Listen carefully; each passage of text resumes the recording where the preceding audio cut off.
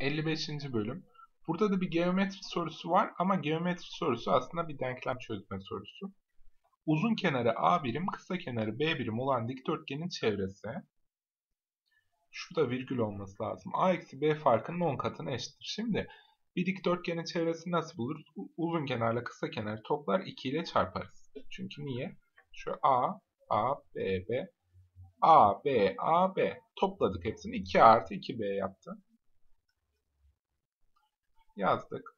Bunun çevresi diyor A eksi B farkının 10 katına eşittir. A eksi B'nin 10 katına eşitmiş. İşte bu yüzden bir denklem çözme sorusu. Burada geometrik bir şey yapmayacağız.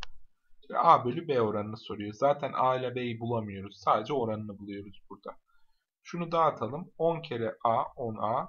10 kere eksi B eksi 10B eşittir 2A artı 2B. Şu 2A'yı karşıya atalım. Çünkü burada daha çok A var.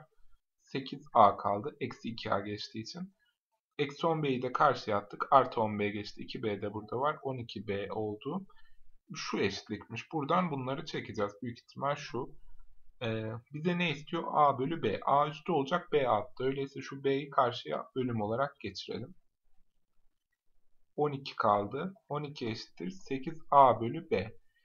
Zaten buradaki en büyük sorun matematik temeli olmayanların hani şu burada eksi karşıya artı geçti. Burada nasıl çarpım bölüm geçti?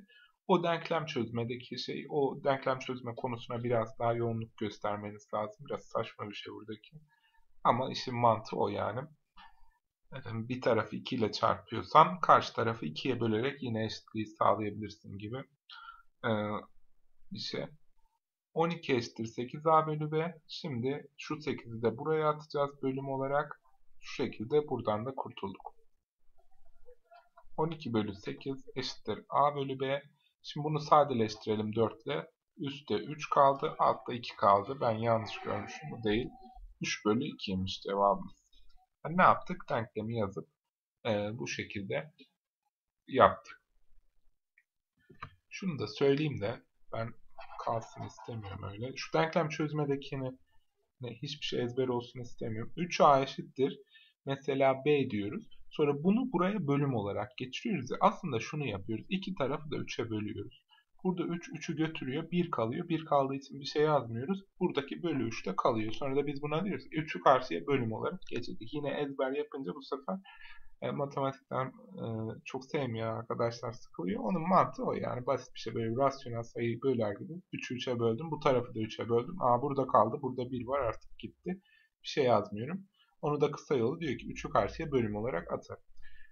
E, şeklinde oluyor.